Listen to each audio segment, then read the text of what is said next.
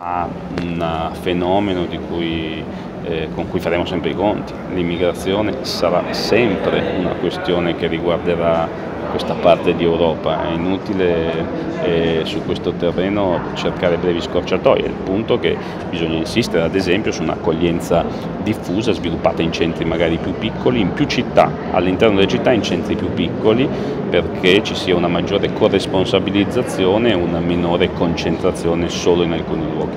Ecco, su questo i comuni dell'Interland forse non stanno dando il contributo che vi aspettavate?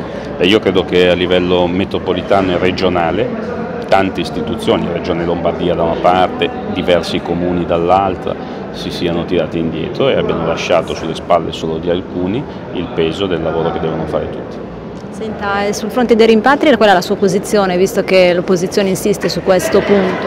Io credo che il tema dei rimpatri, la loro efficacia sia assolutamente un pezzo delle politiche dell'accoglienza cioè i rimpatri assistiti vanno assolutamente fatti perché chi non ha diritto è giusto che non rimanga, come invece chi ha diritto deve rimanere con politiche di azione, intervento e accoglienza molto più decise a livello nazionale. Ultima domanda, ad oggi il Comune di Milano fino a quando può reggere ancora questa, questo flusso di arrivi? Siete ormai saturi mi sembra per i posti?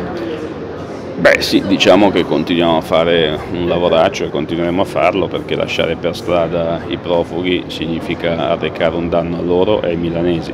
I milanesi che dicono non accogliamo, eh, secondo me vanno spinti a fare un ragionamento molto semplice, ma se noi non accogliamo vuoi avere il richiedente asilo, l'immigrato sotto casa a dormire per strada, non credo che sia una soluzione lungimirante.